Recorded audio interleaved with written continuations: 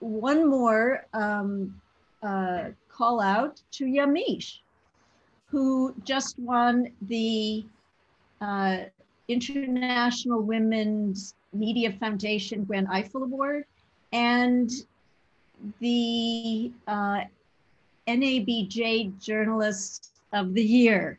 So now, uh, Yamiche, you want to say something about your awards?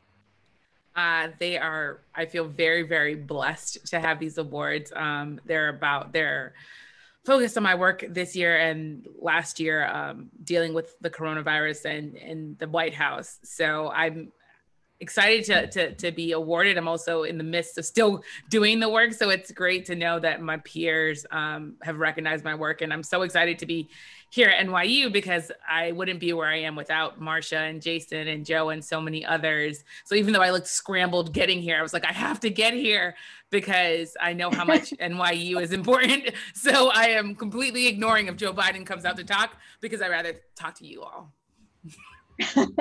well, thank you governors are requesting they don't actually need. You said New York might need I, I might not need thirty thousand. You said it on Sean Hannity's Fox News. You said you know that why, you don't, might, why don't you people act? Let, me ask you. You said why some don't states. You act, why don't you act in a little more positive? It's always trying to my get question you, to you get is, you, get you.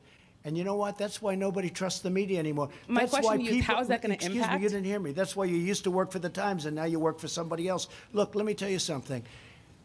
Be nice. Don't Mr. be President, my question Don't is, be threatening. Um, Yamiche, how, um, what's it been like to be confrontational with the President of the United States? Doing a very good job at it, by the way. Thank you. Um, it's been a bit surreal and it's been a bit um, challenging because I think the president has wanted to mislead this country a lot about the pandemic and about the virus. When I watch those exchanges, it's me really, really trying to press for information that I know Americans all over this country sitting around their living rooms want to know. Um, especially at the beginning of this when testing was so hard and we saw cities like New York um, engulfed in, in the virus. Um, so I, I think for me, I've really felt proud of my work because I think in the middle of a pandemic, the, the role of the press has to be to hold politicians and leaders like President Trump accountable. Um, and I've done that, I think, at, at, my very best. I've tried my very best to also remain professional and poised and not let it get personal. Um, because at the end of the day, I think that the people who watch PBS, who watch me on MSNBC, or, or who are watching any organization, any news organization, what they're looking for are answers to their suffering. This was the biggest story that NYU journalism has had to cover. It was the biggest story that any of us have covered and hopefully the biggest story that we will ever cover. And uh, immediately after the attacks, it was obvious that considering NYU is so close to the World Trade Centers, was so close to the World Trade Centers, that we needed to do something about it. And though journalists are meant to dissociate themselves from the story, it was very hard for all of us because we were part of the story.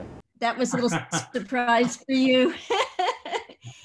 um, yeah, as you say, recall, I mean, you had had yeah you'd had one class before we um, went and covered 9-11 i think maybe two. Yeah. Mm, i think we had two and then um, uh, 9-11 happened and the university closed. Um, many of us who were in the program uh, immediately started freelancing for international broadcasters and you know filing our own reports uh, as well as doing it for nyu our David McKenzie, who has done so much reporting on this, is live in Botswana with more. We do want to warn you some of the images you are about to see are quite graphic. And David, we can see the elephants behind you. That's right, John. What an extraordinary experience and privilege to be here in Botswana. Here near Kasane, you see that group of elephant behind me, some babies frolicking in the mud there. This is their daytime drink. Uh, they'll have several every day here by the river. Many herds behind me as far as our eyes can see. And the problem is now this debate is raging and these elephants could be under threat. No. Oh. Thuli's mother was killed. Panda was caught in the fence line of a commercial farm. Mulelo separated from the herd by a man-made fire.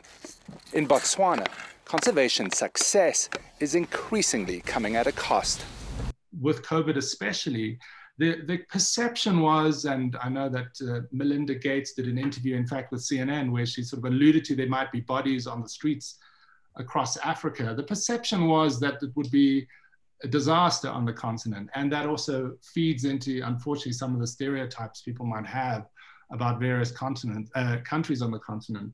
And when it sort of proved that that wasn't really the case, I mean, I think it was important to bring some of that, um, of what we learned at NYU, to take things not at just face value uh, and to bring that, I want to say, documentary way of looking at things, uh, because I do know that, that there is a tendency to simplify things to such a degree with television hard news that um, it becomes almost um, a caricature. And uh, one example was when we were in Cape Town right at the height of the virus, and we went to see how they were dealing with it. And you could see that the, the experience with battling HIV AIDS on the continent and the, the, the, the, when the virus hit here and the level of expertise of African scientists was painting a very different picture. So I think it, it, it is always important, I feel, to in the position we're in here, covering the continent for often an American audience, is to not fall in the traps of those stereotypes. And I think NYU, with its approach to storytelling and its kind of a quirky take on things, uh, for want of a better phrase, um, rather than kind of the, the first thing you see, has been very helpful for my career, I think. I grew up in Egypt, and I've been reporting on the Middle East for the past decade. Over and over, I've seen promises of reform that never led to any real change. It's left me wondering if change is impossible here, or if progress is just so slow that it's hard to see. Mona just got back to take on the role of uh, New York Times Cairo correspondent. And uh, just as she was settling in, she covered the big uh, explosion in Lebanon. Do you want to start there? Explosion happened in Beirut, so I took off and went there, and it was actually one of the first. It was the first time that I was reporting in Lebanon. I, I was based in the region before. Um, it was quite the landing for me, like in Egypt and off to Beirut, and I think it was kind of obviously a very tragic event, but for me it was a great way to get started. You know, just land right in the middle of a big news event and um, hit the ground running. So, so back to sort of the question that you were asking, or someone had asked Yamiche, and or this question about uh, truth and the inability to sort of shape and the message or control the message or have a unified or like here is kind of what happened a single narrative or like an authoritative narrative um, is is a challenge for sure um, and we see how that is playing out in the US. On the other hand, in a place like Egypt, where the um, state has a very tight grip, tight, you know, has tightened its control over traditional like media, like television and um, um, you know the, the, the social media, where it's much harder to you know control, obviously, and and fact check every single thing that people post is the space though where there is more disruption, where there is an alternative voice, where people can express and can kind of say things that they are otherwise barred from saying and expressing. So